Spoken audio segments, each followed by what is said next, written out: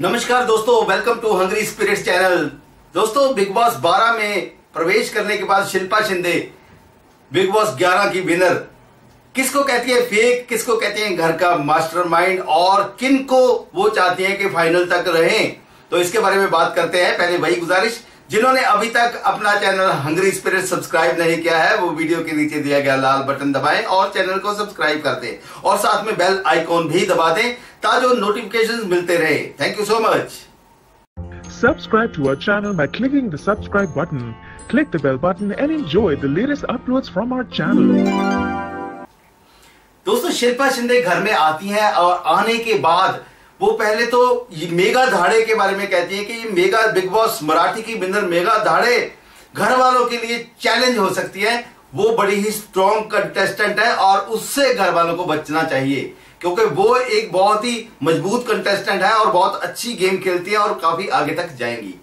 रोमिल चौधरी के बारे में वो कहती है कि रोमिल चौधरी जो है घर का मास्टरमाइंड है। रोमल चौधरी बहुत बढ़िया तरीके से गेम खेल रहा है, बहुत दिमाग से, बहुत अच्छे तरीके से गेम खेल रहा है। और हैप्पी क्लब जो है शिल्पा शिंदे को पसंद आता है।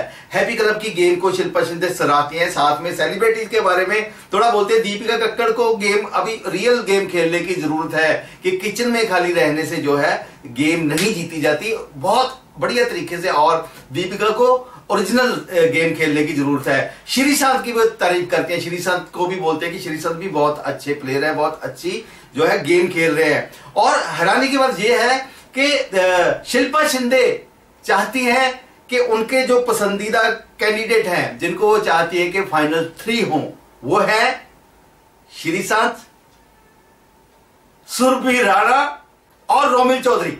इन तीनों को शिल्पा शिंदे चाहती है कि फाइनल तक पहुँचे।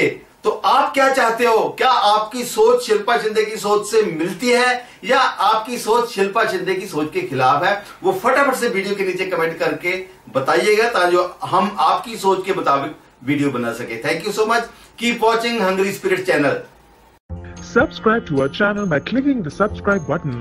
Click the bell button and enjoy the latest uploads from our channel.